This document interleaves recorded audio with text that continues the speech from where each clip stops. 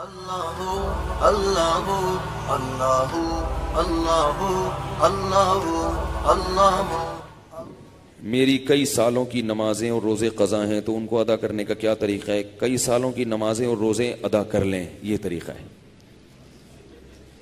یہی طریقہ ہے۔ اس کے علاوہ اور کوئی طریقہ؟ جتنے سالوں کی نمازیں ہیں، اتنے سالوں کی نمازیں پڑھیں۔ نماز پڑھنے کا طریقہ یہ ہوگا کہ جب آپ فجر پڑھ رہے ہیں تو آپ یہ نیت کریں گے کہ میرے ذمے فجر کی جتنی نمازیں قضا ہیں، ان میں جو نماز سب سے پہلے نمبر پہ آتی ہے، میں وہ پڑھ رہا ہوں یا پڑھ رہی ہوں۔ ٹھیک ہے نا؟ تو وہ آپ یہ نیت کریں۔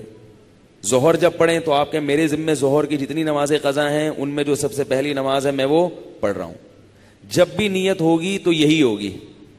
جب آپ دوبارہ فجر پڑھیں گے پھر آپ یہی نیت کریں گے، میرے ذمے فجر کی جتنی نمازیں ہیں، ان میں سب سے پہلی نماز۔ کیونکہ وہ جو آپ نے پڑھ لی ہے نا، وہ تو ذمے میں رہی نہیں ہے۔ نہیں یاری نا۔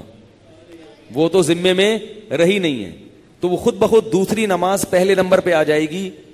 ان نمازوں میں جو آپ کے ذمے میں ہے سمجھ رہے ہو؟ اسی طرح آپ ایک ڈائری میں نوٹ کر لیں کہ کتنے سال کی نمازیں، اندازہ ہی ہوگا، یقین تو نہیں ہو سکتا۔ کتنی سال کی فجر ہے، بعض لوگ فجر کم پڑھتے ہیں، ظہر زیادہ پڑھتے ہیں، تو وہ ظہر کم رکھیں، فجر زیادہ رکھیں۔ ٹھیک ہے نا؟ تو جمعے کتنے آئے ہیں؟ یہ سارا حساب کر کے ایک اندازہ ہی ہوگا، اس کا یقین نہیں ہو سکتا۔ تو اندازے سے کر لیں اور جتنی جتنی نمازیں پڑھتے جائیں، ڈائری میں سے وہ کاٹتے جائیں۔ بعض لوگ ڈائری کا نظام نہیں رکھتے، حافظے پر اعتماد کرتے ہیں، وہ ساری زندگی کنفیوز رہتے ہیں، پڑھتے رہتے ہیں، ان کو یہ نہیں پتا چلتا کہ ہوئی ہے کہ نہیں ہوئی ہے۔ اس لیے حافظے پر اعتماد نہ کریں، ڈائری میں باقاعدہ نوٹ کریں اور جتنی نمازیں ہوتی جا رہی ہیں ان کو کاٹتے چلے جائیں۔ تو انشاءاللہ یہ نمازیں آپ کی امام مہدی کے آنے سے پہلے پہلے جس اسپیڈ سے آپ پڑھ رہے ہیں، اس میں تو یہی ہے کہ امام مہدی کے آنے سے پہلے پہلے یہ نمازیں آپ کی امید ہے کمپلیٹ ہو جائیں۔ تو بھائی، چوبیس گھنٹے میں کم از کم ایک دن کی نماز لازمی پڑھو۔ ایک دن کی بھی نہیں پڑھ رہے تو پھر گناہ ہونے کا خطرہ ہے، بہت سخت۔ اور ایک دن کی اگر پڑھ رہے ہو تو اگر موت آ گئی تو وسیعت کر کے جاؤ۔ تو اللہ کی رحمت سے امید ہے اللہ تعالیٰ معاف کر دیں کیونکہ انسان اس سے زیادہ کا مکلف نہیں ہے نا۔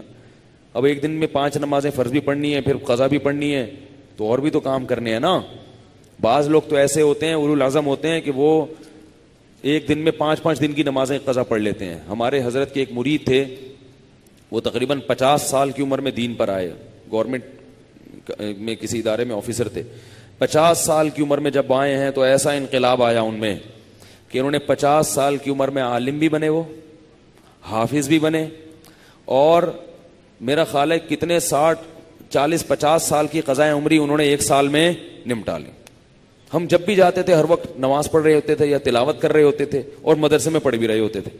ایسا ٹائم کو مینج کیا انہوں نے۔ تو ایسے لوگ بھی ہیں، لیکن بہرحال شارٹ ہیں ایسے لوگ۔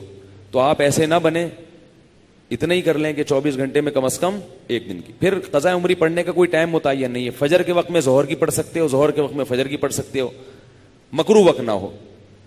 مکرو وقت جو سورج نکلتے ہوئے، زوال کے وقت اور سورج غروب ہوتے ہوئے۔ فجر کے بعد بھی پڑھ سکتے ہیں اثر کے بعد بھی پڑھ سکتے ہیں قضا فجر اور اثر کے بعد نوافل تو نہیں پڑھ سکتے، مگر قضاء عمری پڑھ سکتے ہو۔ وطر بھی پڑھنے پڑیں گے۔ احناف کے ہاں وطر کی نماز کیا ہے؟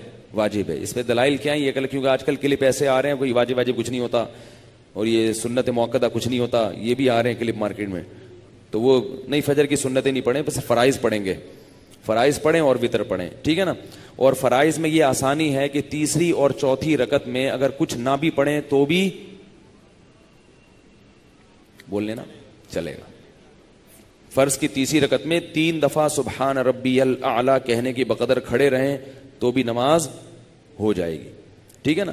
تو فجر یعنی فرض کی تیسری اور چوتھی، وطر میں تیسری رگت میں پڑھنا پڑے گا۔ فرض کی تیسری، چوتھی رگت میں چاہیں آپ مختصر قرات کر لیں، تیسرا کلمہ پڑھ لیں، تو یہ بھی ٹھیک ہے۔ بہتر ہے، سورہ فاتحہ پڑھیں تو زیادہ بہتر ہے۔